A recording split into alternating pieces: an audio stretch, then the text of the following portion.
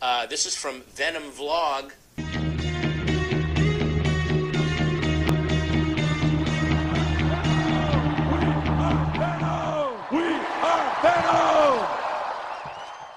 Hey, what's up, everyone? Welcome back to another episode of the Venom Vlog, and here we are today with some information about Venom joining Spider-Man 2 from Insomniac Games and Marvel Games. And this is something we've all been anticipating because I did a live stream of the first game on this channel and Miles Morales, and that footage I think is now living on my gaming channel. And I liked both those games, but the post credits of both those games did set up Harry Osborn potentially becoming the new Venom, and it looks like now we have eyes on Venom. Hashtag eyes on Venom. Hashtag eyes on Breen. Um, so this is you know exciting, obviously for a lot of us, but it also is kind of confusing for some because I know some people out there want it to be Eddie and not Harry. Obviously, we won't know what the story is going to be until we get you know our hands on the game and play it. We don't know if it's going to be Harry the whole time or if the suit will pass on to one of the Spider-Men and then on to Eddie at some point. They definitely hinted at Eddie existing in this world in the first video game with some Easter eggs. So there's always a chance we'll at least see Eddie Brock in the game too. Um, but it seems like they might be focusing on Harry Osborn, the his version of the symbiote that his father created, um, which is Norman Osborn. So it looks like the story will revolve around them, and then also Spider-Man and Miles teaming up, which we saw in the trailer, some cool footage. And then we also heard the narration of Kraven the Hunter, which was really cool. And uh, and so it looks like it's Spider, you know, the two Spider-Men being hunted by Kraven. He's coming to New York to you know battle them and uh, and you know see if they might not be a disappointment if they'll actually be able to take him down which is what he's looking for uh, he's looking for a new king of the jungle because he's been the king of the jungle for so long uh, and then venom shows up and it looks like venom says you know we'll take you on. We could probably beat you.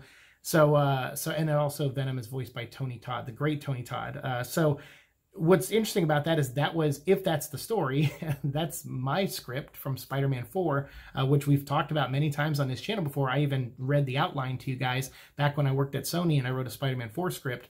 And the story was that uh, you know peter parker was uh, as a scientist assistant to his uh, teacher dr connors helps dr connors perfect using the, the trace of the symbiote that was left over from uh, the, the spider-man 3 movie because dr connors had one in his possession he had like a little sliver of it and so in my script, it had Dr. Connors examining that and using its regenerative abilities and mixing it with uh, like a lizard DNA. And that's how he grows his arm back. And then halfway through the movie, the arm mutates and kind of looks a little symbiote-ish, but green, obviously, because he's a he's a lizard too. And it transforms him into the lizard. And as he's turning into the lizard, Kraven is showing up to New York to hunt Spider-Man to take him down. Um, but then he, the lizard shows up, beats the crap out of Spider-Man, and proves that it's the king of the jungle. So then Kraven turns his attention to the lizard and then goes to fight the lizard. And then in my script, it was Peter having to recover from that loss. Uh, you know, he gets buried alive by Kraven. He comes out of the ground and then he goes to Mary Jane and she helps him recover. And they uh, basically, he is trying to use his brain to figure out a cure for Dr. Connors. And he wants to cure Dr. Connors from being the lizard any longer before Kraven kills him.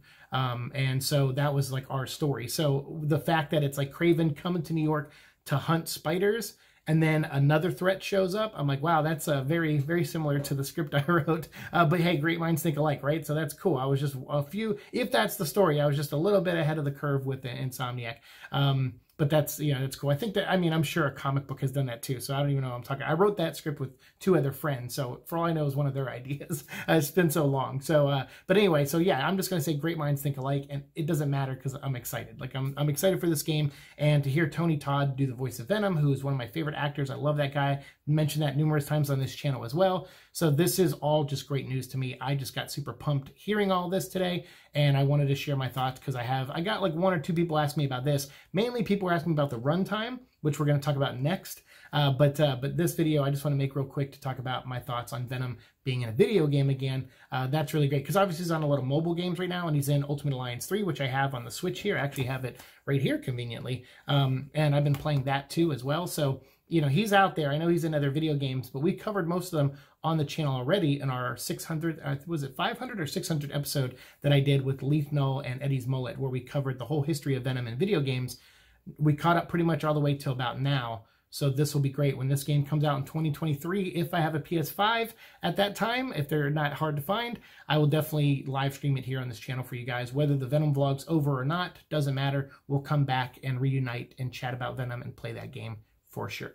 So let me know your thoughts of this game down below, and we'll continue the conversation as well down there. And also let me know what your thoughts are on Wolverine, because we got a hint at a Wolverine solo game from Insomniac 2, a little teaser, and I'm so excited for that one. Uh, that's going to be really great, I think. And they said it's like a, a dark and kind of sad and depressing story that they're going to tell with Logan. But if this is a the beginnings of an Insomniac shared universe, I'll be so happy, especially when they're starting with they started with Spider-Man already, and if they're already introducing Wolverine and mutants, I would love to see some crossover action at some point down the road. So, you know, if Insomniac keeps doing this, I'll be there for the ride. I love the first two Spider-Man games. I'm excited to see what Spider-Man 2 brings and what Wolverine brings. So let me know your thoughts on that down below as well, and we'll continue the conversation down there.